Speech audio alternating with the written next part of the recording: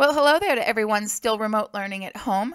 The problem that comes in today is pretty interesting. It is a calculus optimization problem, and it's one I've never seen exactly like this before.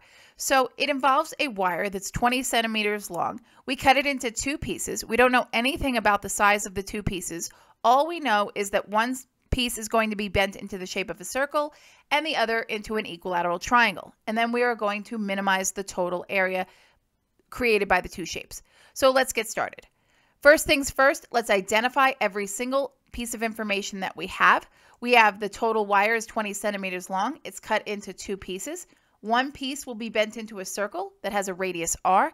The other piece will be bent into an equilateral triangle, side length s. Side length s because all of the sides will be the same.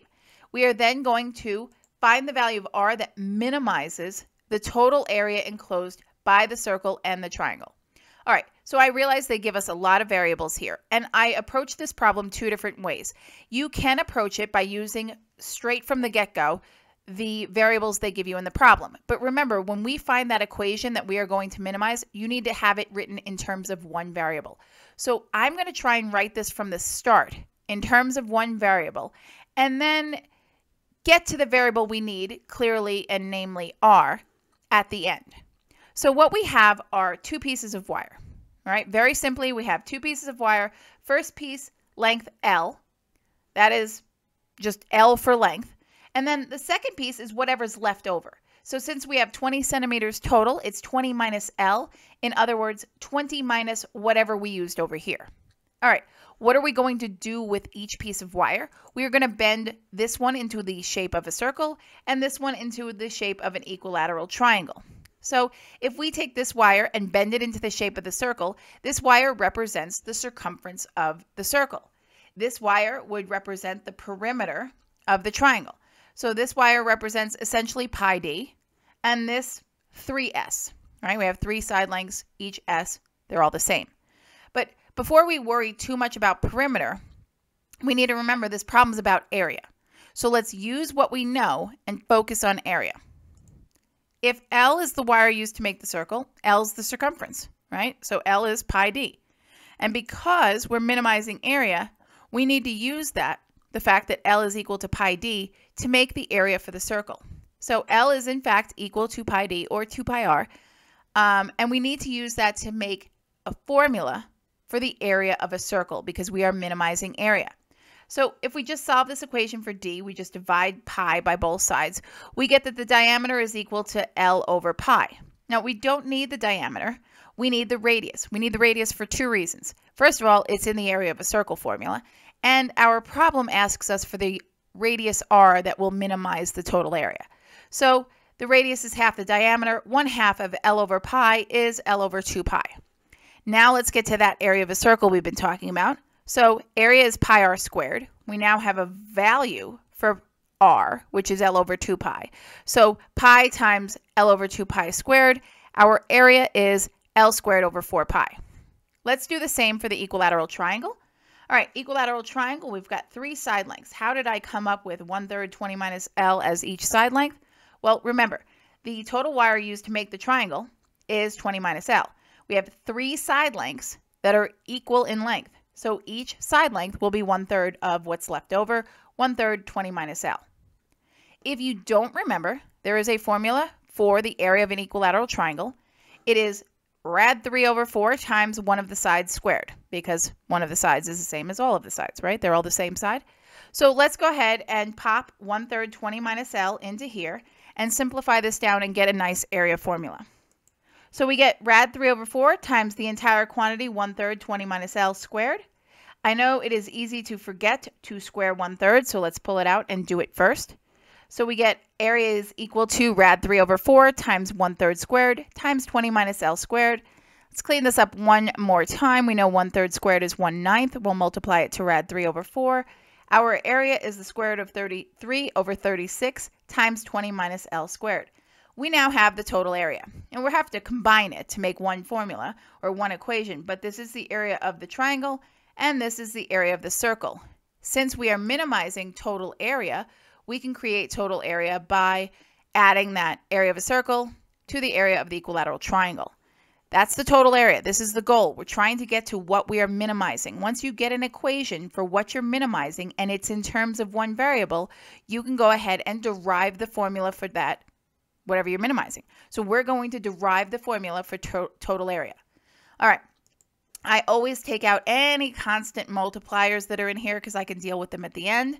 So here we have 1 over 4 pi times L squared. So just pull out 1 over 4 pi. And so it's going to be 1 over 4 pi times the derivative in terms of L of L squared plus, and again, this time your constant multiplier is just sitting out here, rad 3 over 36 times the derivative of 20 minus L squared. Okay? Next step, let's just derive. Let's leave the constant multipliers alone. All I'm going to do is derive L squared and 20 minus L squared. So the derivative of L squared is 2L.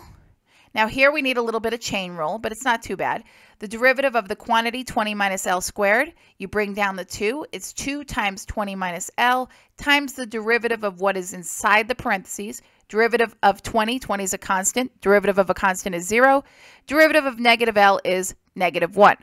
Now what I'm going to do is take that negative 1 and change from addition to subtraction so I do not have a sign error in my answer. I'm just going to take care of it right off the bat.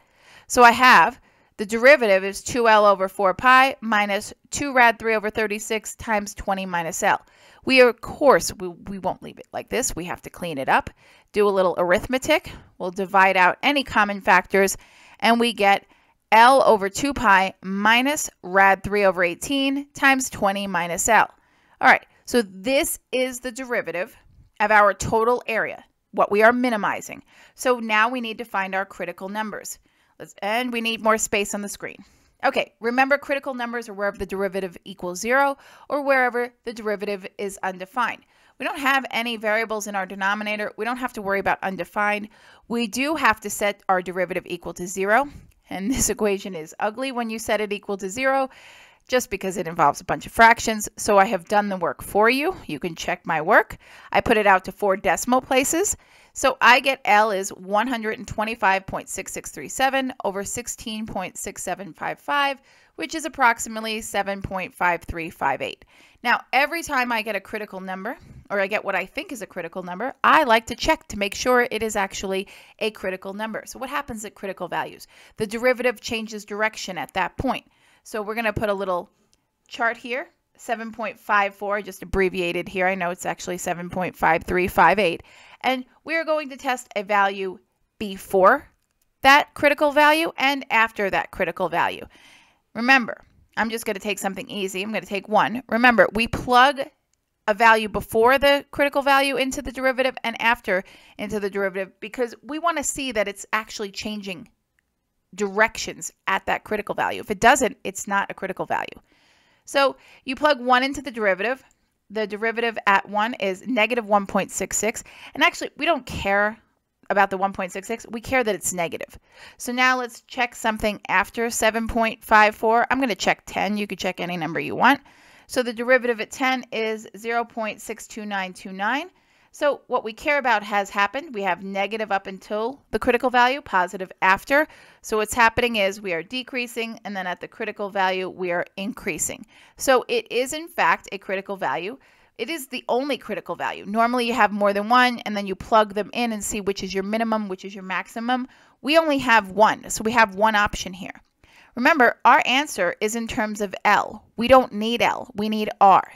So remember, from the first thing we did, we put our L in terms of R, R in terms of L.